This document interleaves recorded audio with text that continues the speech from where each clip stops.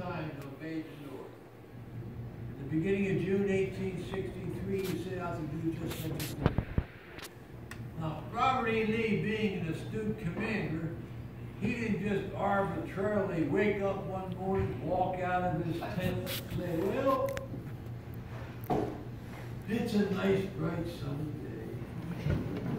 I think I'll wander into Maryland and Pennsylvania. Oh no. As an astute commander, he had objectives. He had logistical objectives. He had military objectives. And he had political objectives. Let's take a look at these. Logistically, by the summer of 1863, food was in short supply.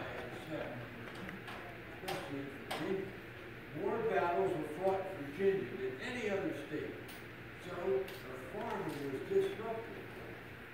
In addition, many of the farmers had left their farms and joined the Confederacy, so food was scarce. So by bringing his troops into the north, he could feed his troops on the bountiful crops in Maryland and Pennsylvania, thereby shortening his supply lines. Excellent logistical. In addition, now he knew that Maryland was a slave state, but had remained loyal to the Union.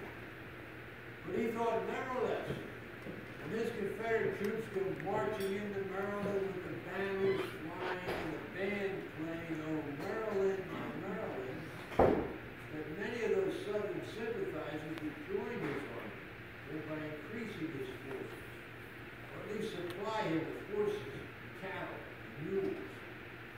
Again, an excellent logistical objective. Now, you know, we had military objectives.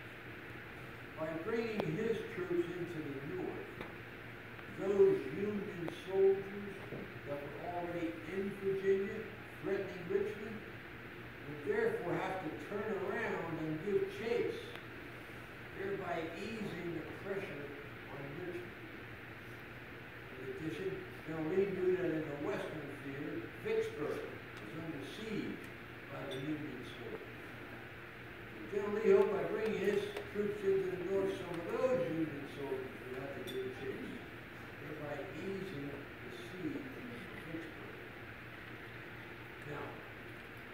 Strangely, Gettysburg was not the military objective.